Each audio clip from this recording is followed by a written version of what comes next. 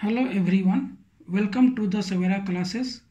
In this video, I will discuss about what is automation, main objective of automation, need of automation and elements of automation. चलिए start करते हैं first of all देखते हैं कि automation क्या होता है what is automation automation can be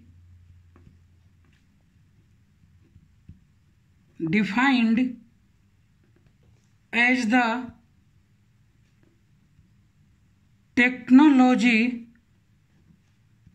by which a process or procedure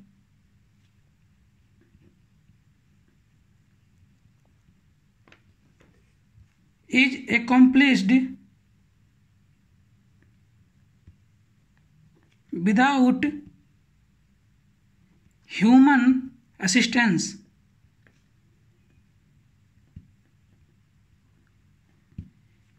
अगर आसान शब्दों में कहें तो ऑटोमेशन एक ऐसा टेक्नोलॉजी है जिसके द्वारा एक प्रोसेस या प्रक्रिया को ह्यूमन की सहायता से सहायता के बगैर पूरा किया जाता है।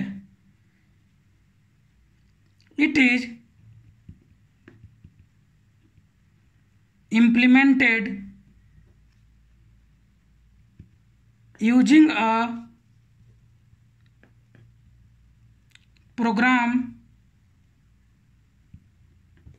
combined with the signal that execute the instruction signal और सिस्टम यानी कि इसे कंट्रोल सिस्टम के साथ प्रोग्राम का यूज़ करके इम्प्लीमेंट किया जाता है, जो कि दिए गए इंस्ट्रक्शन को एग्जीक्यूट करता है। अब बात आती है कि what is program what is program in a simple word program is a set of instructions program क्या होता है? एक इंस्ट्रक्शन का एक समूह होता है कि हमें क्या क्या करना है, कैसे करना है, उसमें स्टेप दिया रहता है, उसी अकॉर्डिंग वो काम करता है, उसे प्रोग्राम बोलते हैं। अब हम देखेंगे नेक्स्ट टॉपिक अपना। मेन ऑब्जेक्टिव ऑफ़ ऑटोमेशन जैसा कि हम सभी जानते हैं कि आज के टाइम में मार्केट हाईली कम्पिटिटिव है और हमारा जो लाइफ है, वो फास्ट मूविंग लाइफ है। तब इस समय में किसी भी कंपनी को सरवाइव करने के लिए उसे फ्लेक्सिबल इफ़िशियंट और इसके साथ साथ कॉस्ट इफ़ेक्टिव भी होना पड़ेगा। इसलिए आज के टाइम में अगर सरवाइव करना है किसी भी मैन्युफैक्चरिंग इंडस्ट्री को तो उसे ऑटोमेशन की आवश्यकता पड़ेगी। तो उसी को देखते हम देखते हैं कि मेन ऑब्जेक्टिव क्या क्या है। तो पहला है टू इंक्रीज प्रोडक्टिविटी क्योंकि हमें पता है कि हमें रिक्वायरमेंट मीट करनी है। अगर रिक्वायरमेंट मीट करनी होगी तो उसके लिए हमें प्रोडक्टिविटी को इंक्रीज करना होगा, वरना हम मार्केट लीडर बनने से पीछे रह जाएँगे। सेकंड है to improve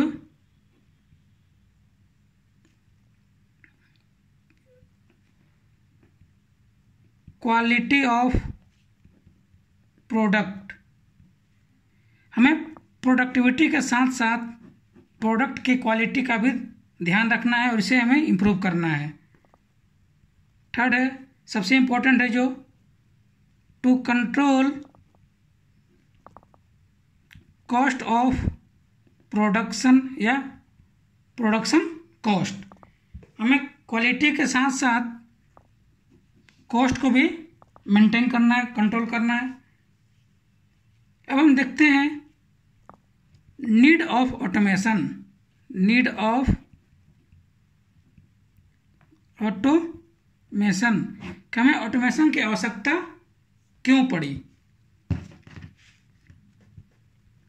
देखते हैं पॉइंट वाइज पहला पॉइंट है to reduce human error human error means जो मनुष्य गलती करता है, काम करते समय तो क्या होता है कि मैनुअल मशीन पर काम होता है वर्कर के थ्रू तो क्या होता है कि मिस्टेक होती रहती है एरर होती रहती है, उससे क्या होता है मेरा? प्रोडक्ट जो है डिफेक्टिव पड़ता है। प्रोडक्ट डिफेक्टिव बना तो मेरा क्या हुआ? मटेरियल का वेस्टेज हुआ। मटेरियल वेस्टेज हुआ, इसका मतलब क्या हुआ? कि मेरा रिजेक्शन हो गया मटेरियल का। तो हमें इसको रिड्यूस करने के लिए हमें ऑटोमेशन की आवश्यकता पड़ती है। सेकंड है to increase productivity to increase productivity अब हमें प्रोडक्शन बढ़ाना है तो प्रोडक्शन बढ़ाने के लिए हमें ऑटोमेटिक मशीन की आवश्यकता पड़ेगी पड़ेगी। क्यों? क्योंकि ह्यूमन में बहुत सारा सेटिंग टाइम से लेकर सामान यहाँ से वहाँ ले जाना, लाना, उसमें मैनेज करने में थोड़ा प्रॉब्लम आती है। तो क्या करते हैं हम? कि हम ऑटोमेटिक मशीन लेते हैं, उसमें प्रोग्राम करते हैं और उसी प्रोग्राम के अकॉर्डिंग वो मशीन काम करता है।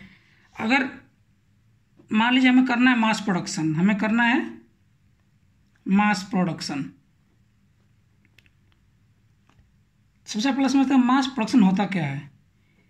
कोई भी एक आइटम कोई भी एक पार्ट को हम एक लार्ज अमाउंट में क्वांटिटी में बनाएँगे, उसे बोलते हैं मास प्रोडक्शन तो इसमें क्या करना है कि एक बार, एक मशीन पर हमने प्रोग्राम सेट कर दिया, उससे हमने हज़ार, दो हज़ार, चार हज़ार जितना पीस निकालना है, निकाल लिया तो उसमें हमें बार बार प्रोग्रामिंग चेंज नहीं करना पड़ेगा।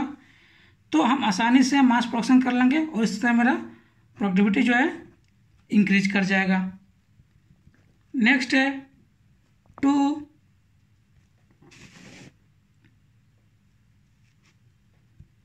produce good quality of product जब ह्यूमन का इंटरफेयर कम रहेगा तो मशीन अपने आप चलती रहेगी, जो उसमें प्रोग्राम किया गया है तो उसमें क्वालिटी ऑटोमेटिक इम्प्रूव होते जाएगा, जो हमें फाइनली चाहिए। नेक्स्ट है टू रिड्यूस प्रोडक्शन कॉस्ट हमें क्या करना है? कि क्वालिटी भी इंक्रीज करना है। इधर भी कम आना चाहिए और साथ साथ में प्रोडक्शन कॉस्ट भी कम करना है। तो इसका कम करने का सबसे बेस्ट उपाय क्या है कि हम जब भी प्रोडक्टिविटी को इंक्रीज करेंगे, जब हम लार्ज स्केल पर कोई प्रोडक्ट बनाएँगे तो उसका जो प्रोडक्शन कॉस्ट है ऑटोमेटिक क्या होगा? कम हो जाएगा। तो इस तरह हम ऑटोमेटिक मशीन से ऑटोमेशन से प्रोडक्शन कॉस्ट को रिड्यूस कर देंगे, जो हमारा अल्टीमेट अपना गोल है। नेक्स्ट है to reduction in labour cost अगर हमें कोई प्रोडक्ट का कॉस्ट को रिड्यूस करना है तो उसमें एक फैक्टर ये भी आता है कि हम कितना कम से कम लेबर में अधिक से अधिक काम कराते हैं। तो कम से कम लेबर में अधिक काम कराने के लिए आपको ऑटोमेटिक मशीन पर ही जाना पड़ेगा, क्योंकि वहाँ मशीन अधिक काम करती है लेबर काम क्या है, सामान ले जाना, सामान हटाना वहाँ से, बाकी जो जितना प्रोसेस करना है ऑटोमेटिक ऑटोमेटिक मशीन ही करती है। तो जब लेबर कम रहेंगे तो उनके खर्चा कम आएँगे, जब खर्चा कम आएगा तो मेरा ओवरऑल प्रोडक्ट पर जो कॉस्ट पड़ता है प्रोडक्शन कॉस्ट वो कम हो जाएगा। ठीक? नेक्स्ट है to reduction in manufacturing lead time इसको बोलते हैं M L T manufacturing lead time ये बहुत ही इंपॉर्टेंट टर्म है प्रोडक्शन में या मैन्युफैक्चरिंग में। ये क्या होता है कि किसी भी प्रोडक्ट का मैन्युफैक्चरिंग में लगा टोटल समय उसका मैन्युफैक्चरिंग लीड टाइम कहलाता है।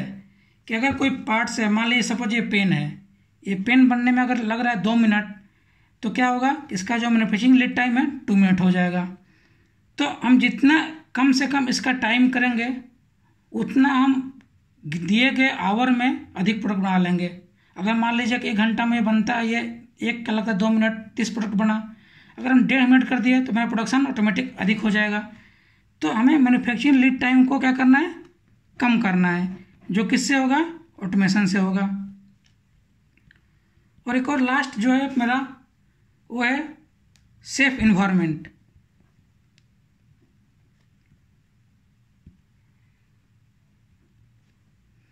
हमें सब कुछ करते करते ये भी देखना है कि हम जहाँ काम करते हैं, जहाँ हमारे एम्प्लॉय काम करते हैं वहाँ इन्वायरमेंट कैसा है? कहने का मतलब कि अगर मैनुअल मशीन पर काम कर रहे हैं तो हमें बार बार मशीन पर जाना पड़ेगा। तो कभी कभी क्या होती है कि मिसहैपनिंग हो जाती है। तो उसको देखते हुए हम क्या करते हैं कि मशीन को अगर हम ऑटोमेटिक कर दिए तो ज़्यादा ऑटोमेटिक मशीन क्या होती है? वो क्लोज होती है। जैसे C N C lathe machine है तो काम करती है जब अपना दरवाज़ा बंद है, उसका अपना काम कर रही है तो कोई दिक्कत नहीं है। पोल्यूशन कम होता है।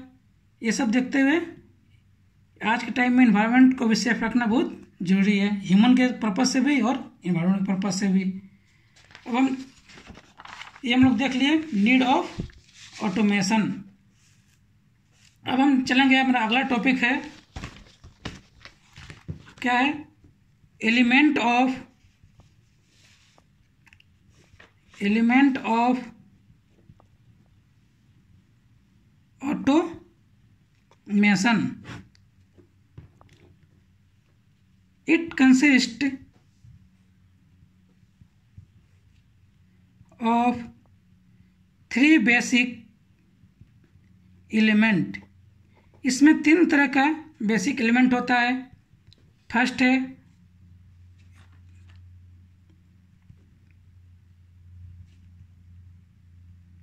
पावर सोर्स सेकंड है ऑटोमेटिक मशीन और थर्ड है।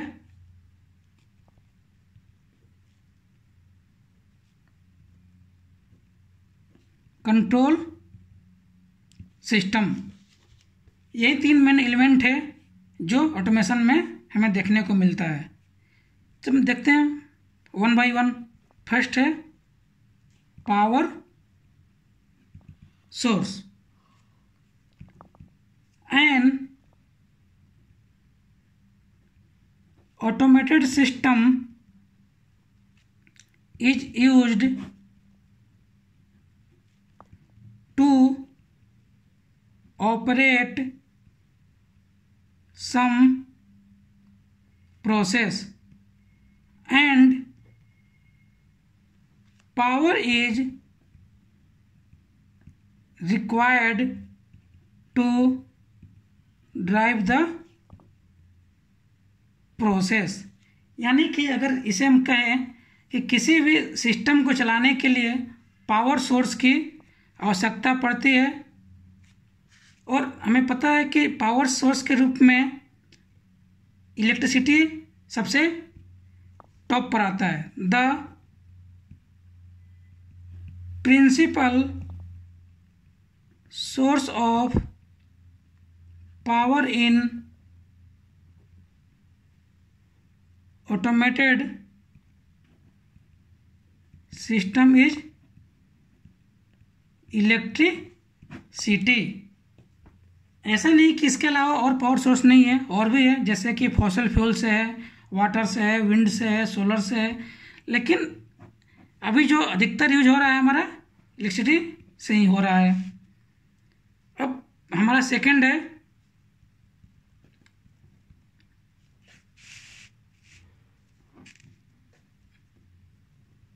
ऑटोमेटिक मशीन ये कई तरह की होती है। जैसे कि हमें मैन्युफैक्चरिंग करना है तो उसके लिए सी लेथ ड्रिलिंग मिलिंग बहुत सारे मशीन है। अगर हमें इंस्पेक्शन करना है तो उसके लिए मेरा ऑटोमेटिक इंस्पेक्शन मशीन है। अगर हमें असेंबली करना है, उसके लिए अलग है ऑटोमेटिक सिस्टम अगर हमें सामान एक जगह से दूसरी जगह ले जाना है तो इसके लिए मेरा अलग सिस्टम है। तो सभी को मिलाकर हो गया ऑटोमेटिक मशीन हम देखते हैं बारी बारी से। पहला है फ़र्स्ट है। किस काम के लिए? For manufacturing different types of machine parts ये कौन बनाएगा? ये बनाएगा ऑटोमेटिक मशीन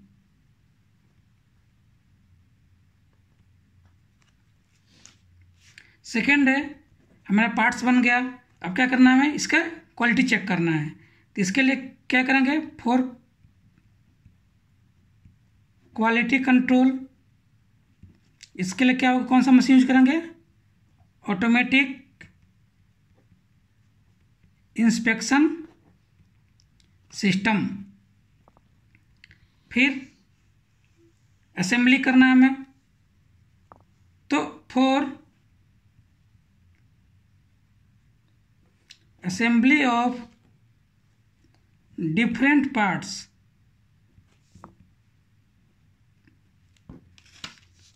क्या हो जाएगा? ऑटोमेटिक असेंबली सिस्टम हमें इंडस्ट्री में एक जगह से दूसरा सामान ले जाने की आवश्यकता पड़ती है तो उसके लिए क्या होता है? इंडस्ट्रियल रोबोट होता है। तो इसका काम क्या है? टू पिक एंड प्लेस या कन्वेयर बेल्ट हो गया। डिफरेंट पार्ट्स और आइटम्स ये क्या है? Industrial robot. तो ये हमारे ऑटोमेटिक मशीन में सब आते हैं। अब नेक्स्ट हमारा क्या है? कंट्रोल सिस्टम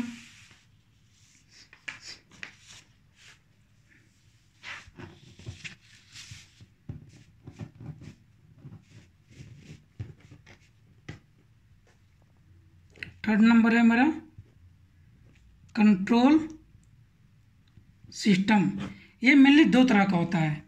एक ओपन लूप कंट्रोल सिस्टम, दूसरा close loop control system. First देखते हैं हम लोग। Close loop control system. इसी का एक और नाम है, वो लिख देते मैं। It is also known as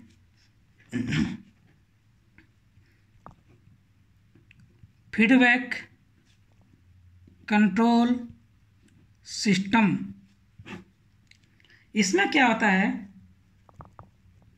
It is one in which the output variables is compared with an input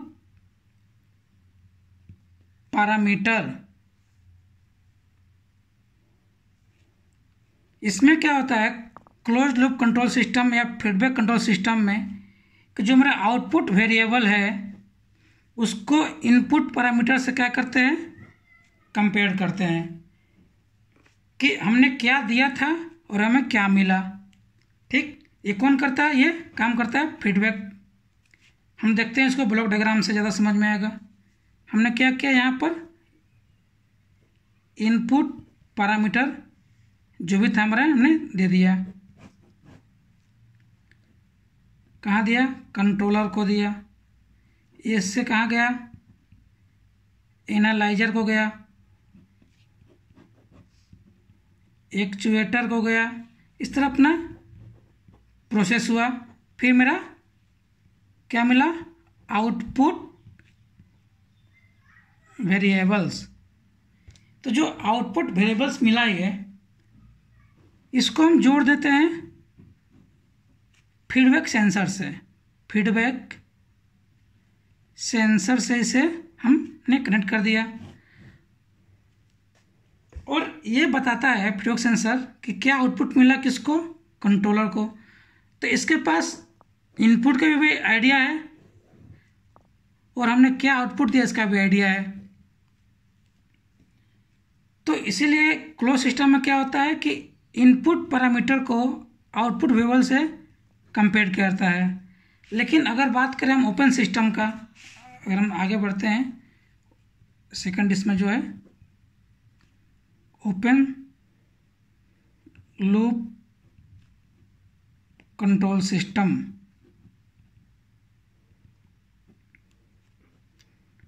It operates without the feedback loop जैसे ये मेरा क्लोज लूप है, इसमें अगर हम फीडबैक वाले सेक्शन को हाइड कर दे।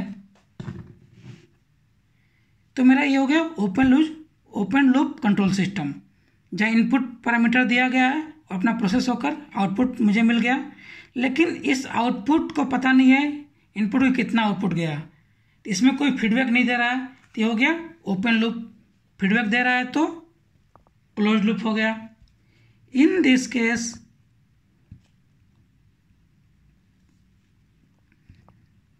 the control operates without measuring the output variables वही इसमें जो कंट्रोल है, बिना मेजर किए हुए आउटपुट वेरिएबल का काम करता है। अब हम देखते हैं कि इसमें कौन कौन सा इसका एलिमेंट है। फीडबैक सॉरी नहीं। Feedback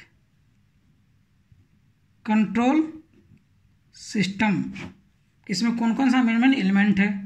तो सबसे जो मेन इंपॉर्टेंट है एलिमेंट है वो क्या है? सेंसर सेंसर क्या होता है? A sensor is a transducer which is a device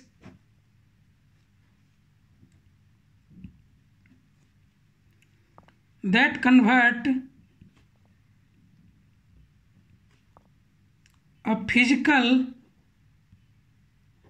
variables of one form into the another form other form other form क्या होगा इसका? Signal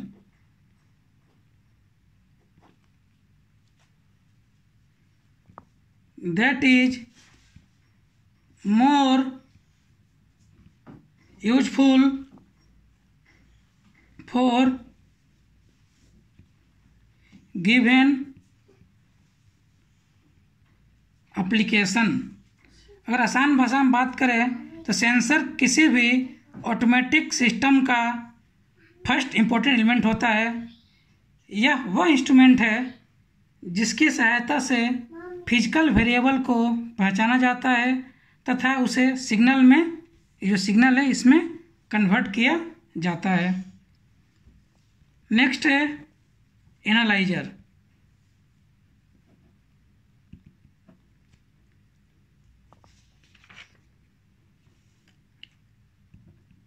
an analyser is a sorry नहीं दिखा ना। मैं पेज चेंज कर देता हूँ।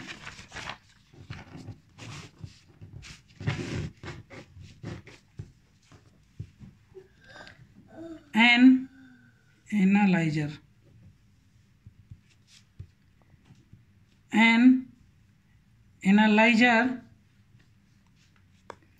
is a equipment used for used to analyze the data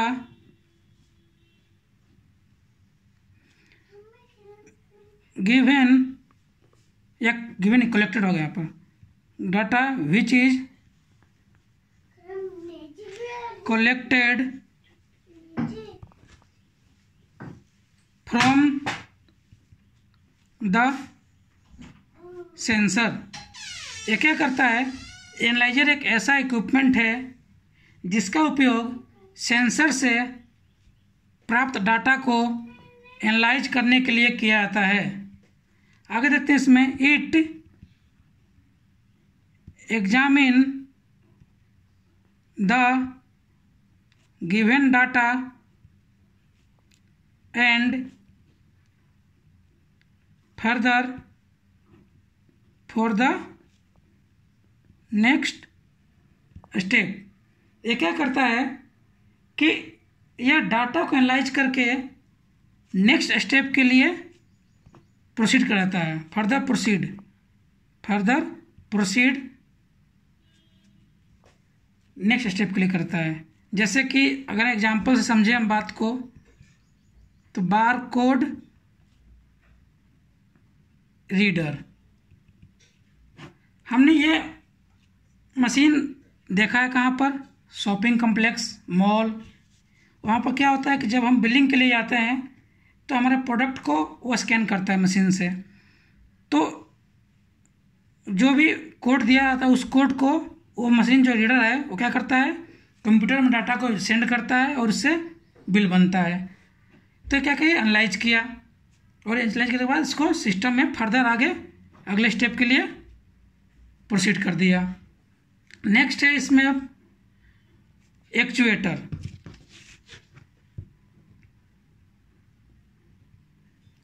अगला इसमें एलिमेंट जो है, वो क्या है? Actuator an actuator is a hardware device that convert a controller command system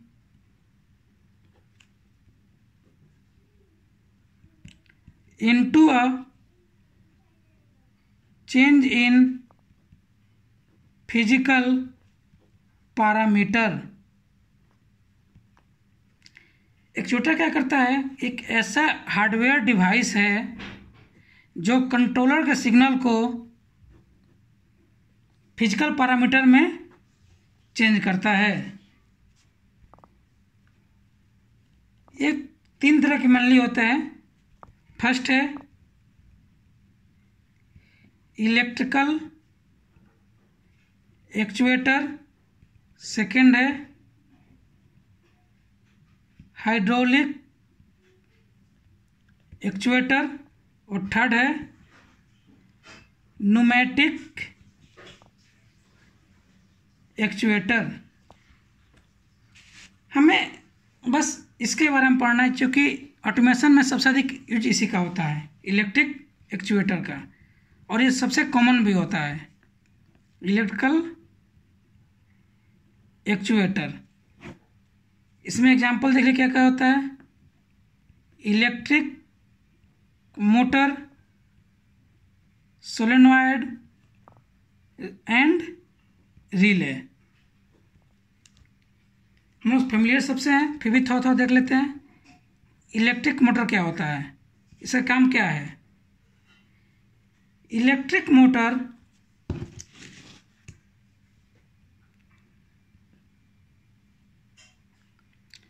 converts electrical power